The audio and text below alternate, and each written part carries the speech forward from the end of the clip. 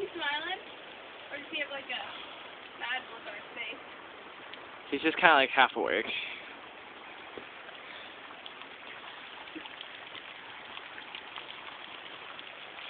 This is like the coolest waterfall I've ever seen. It's crazy. It looks like it's, it's raining from the rock. Well, it basically is.